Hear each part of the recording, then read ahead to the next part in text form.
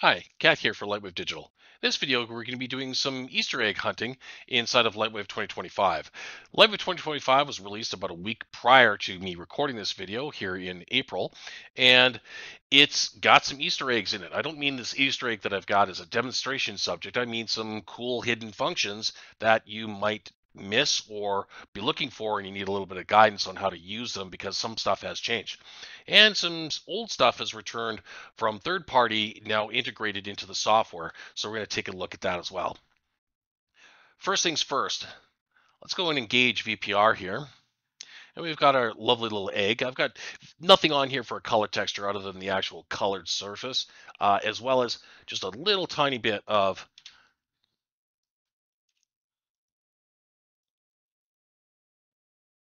bump mapping. It's being given to us through two crust textures. So I'm going to hit shift click and we'll bring up the surface editor. Take a look at that really quickly. Nothing crazy. These are built-in procedural textures that Lightwave has had for decades mixed with the power of nodes, which we've also had for uh, about 20 years now since those have been introduced. Uh, Lightwave was one of the first commercial packages to do a full-blown nodal system. Um, but the procedural texture system in Lightwave, it's important to note if you're not familiar with that is, because you're new to CG or you don't understand how it may necessarily work in Lightwave, uh, Lightwave has an extremely robust, robust procedural texture system that can work in a number of different areas, not just a surface editor or what you might refer to as a material editor. Uh, it can work in the areas of, say, if this was a spotlight, we wanted to do a projected image. We can do tricks where this uh, can be fed a procedural texture instead. Um, we've got functions where we can go into a light and change things for volumetric color and use procedural textures as part of what gives the uh, procedural volumetric effect its shape. There are things in the VDB system, um, displacements, even the graph editor can make use of procedural textures. So anywhere that you see a T button or you've got the ability to do something through a nodal editor inside of Lightwave, you can get access to all the procedural textures that can be used to drive various inputs. Now, for years, we had plugins from a very, very special developer out of France who was just amazing, and his name is Dennis Pontonnier. Uh, through special agreement with Lightwave Digital, the new owners of Lightwave 3D that have been working diligently for the last three years to really improve the package, Dennis's plugins have now returned and are being integrated into Lightwave in both modeler and in layout. So going to the node editor for the surface editor, you're going to notice a couple of sections in here. I'm going to just point them out for you. First one is going to be the DP filter. Obviously, DP is for Dennis Pontonnier. And we've got access to a bunch of filters that are in here. These are primarily filters that can be used in the post area under image filter. So you go to image filter, you get access to them here. But if you can think of a way to use them in the surface editor, you most certainly can. But those are primarily for the uh, image filter area in the post processing. Well, we've also got access to DP kit, which is for displacements specifically.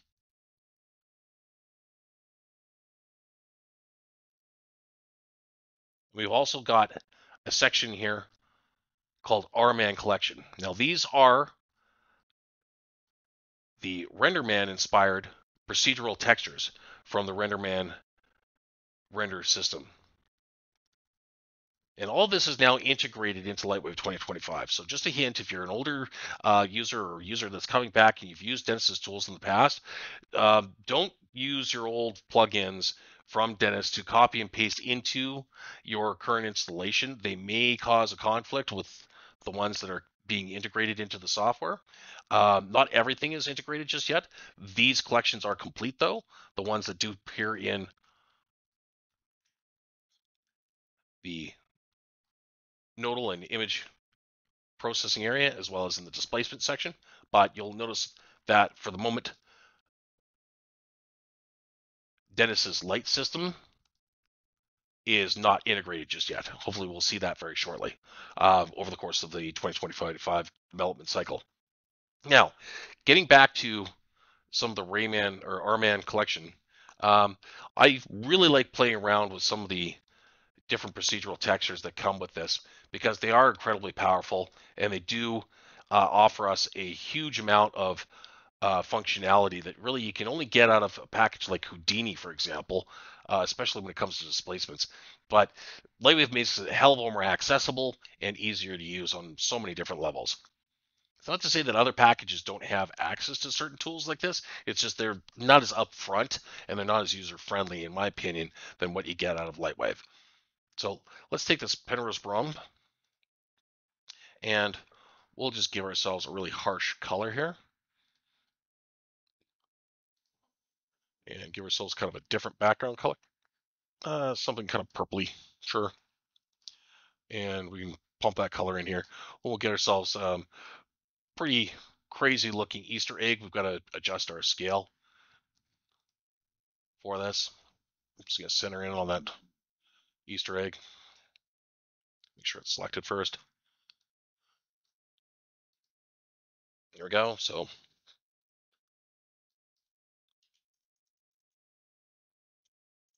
point one, point one, and get some really interesting patterns.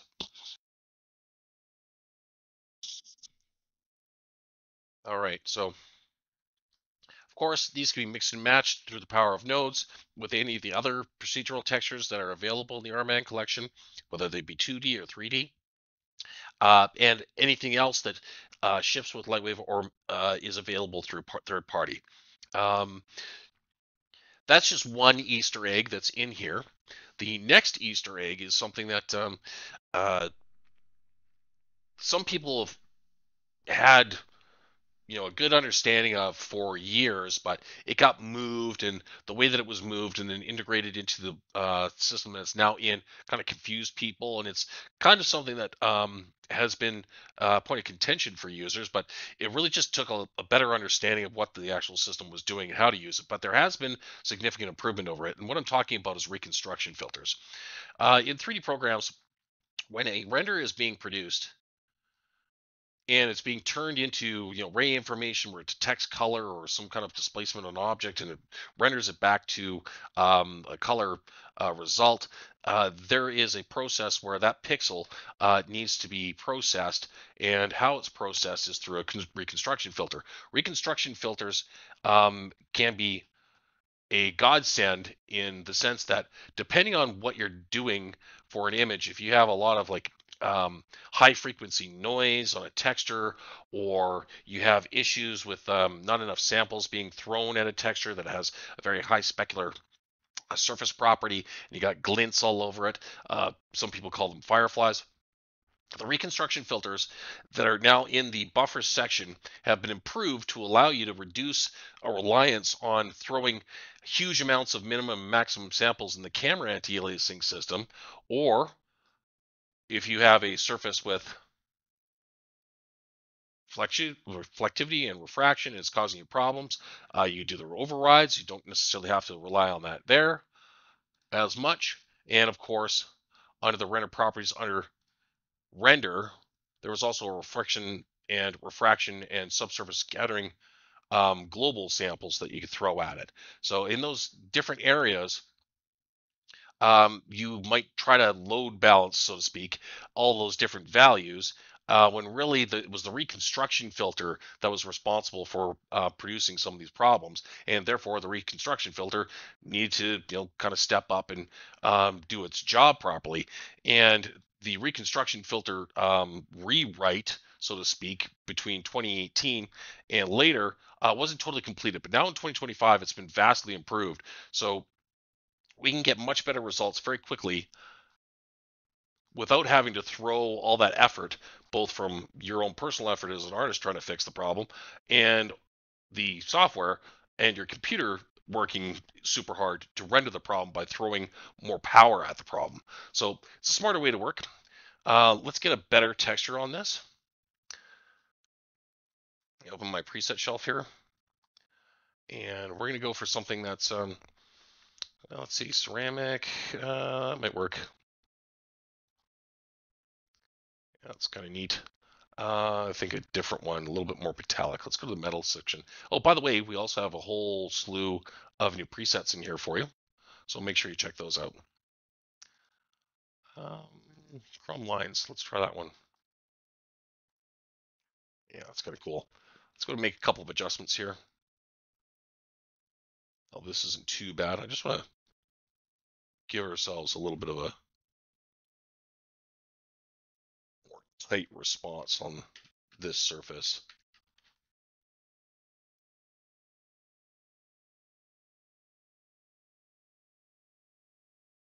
so take a look at that through the object, for the camera. So we can see that this surface, you know, generally it feels okay, um, but you'll notice that in certain situations, depending on the glancing angle of light or the surface is um, uh, got some, you know, really fine micro bumping to it, or there's some kind of masking that's causing uh, a specular glint or something that might be an issue at render time, or it just pops out and it screams at you. Uh, the reconstruction filters can help to uh, reduce the uh, appearance of that, if not eliminate it completely. And it doesn't really do a huge amount of um, work in the background to achieve that. So it's a much more efficient way to help fix these problems rather than just throwing minimum maximum samples and going nuts that direction or in other areas. Uh, let's put a little bit more uh, bumping on this and see what else we can get to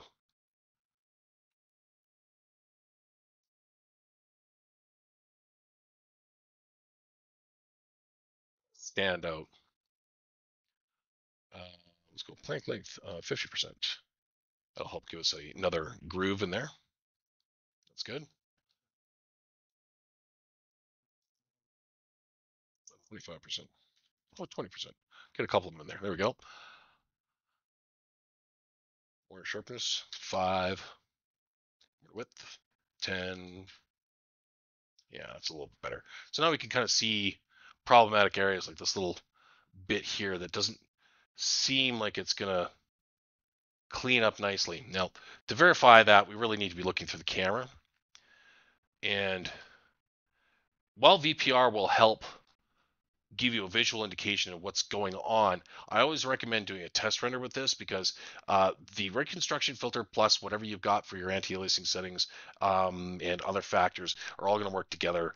And while the VPR render engine is a production render engine uh, that you can use, it is actually the same kind of um, system.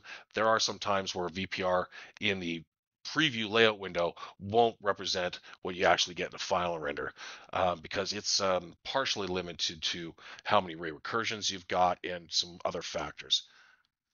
So let's take a look at uh, the light here, the key light and we're going to pump up some values just to really demonstrate some of those areas that might give us an issue. If you have the problem of fireflies or certain stuff not cleaning up and you've never been able to figure it out, the reconstruction filters now will help you deal with that. Okay, so the default is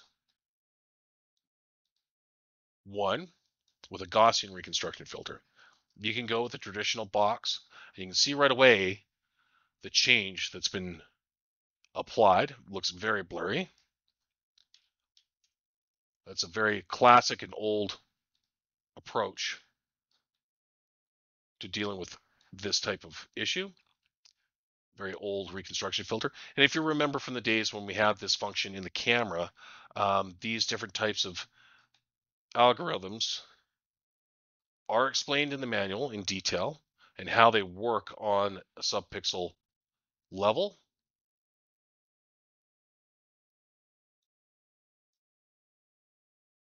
But in older versions of Lightwave, let's say Mitchell Soft or um, Mitchell Sharp or uh, some of the other variables that we got uh, didn't really totally 100% work properly. So these new reconstruction filter improvements that are now available on the buffer side of things makes it a heck of a lot simpler to troubleshoot this stuff and make sure that your uh, results are expected as expected when you get your final image results out the back end um, so that you can turn your composite of all these buffers back to the way you want to see it.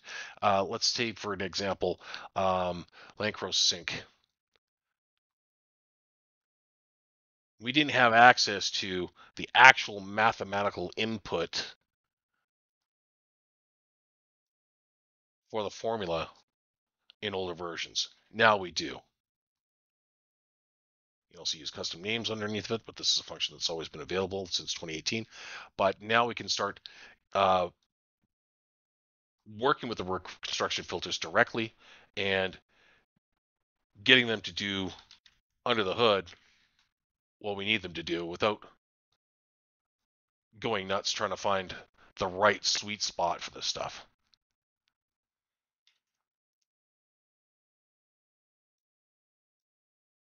Very simple to use. Results are immediately apparent in VPR. And of course, at any time, do a couple of test renders. Depending on which formula you're working with. Just to make sure it cleans up in the actual production render. And you can see that this is just using the default anti-aliasing settings. Uh, I didn't have to throw anything else at it, and it comes out pretty clean. Um, you know, it can be used to soften an image, but if you want to do something like that, you probably do that in post a heck of a lot, uh, a heck of a lot easier. And of course, you've also got the filter radius in the camera that you can work with. And should you need it for edges in motion blur or similar, um, you can increase these values to 4 or to 16, 4 and 16. Generally, um, pretty good. But with the access to these new improved reconstruction filters, start as low as you possibly can, so serve the render time. Um, I know that Lightwave Digital has stated that they've gotten between a 30 and 50% render speed boost just by implementing these better filters. So that's two sets of uh, hidden Easter eggs in Lightwave 2025. We'll have more information about the other ones that are now in the package.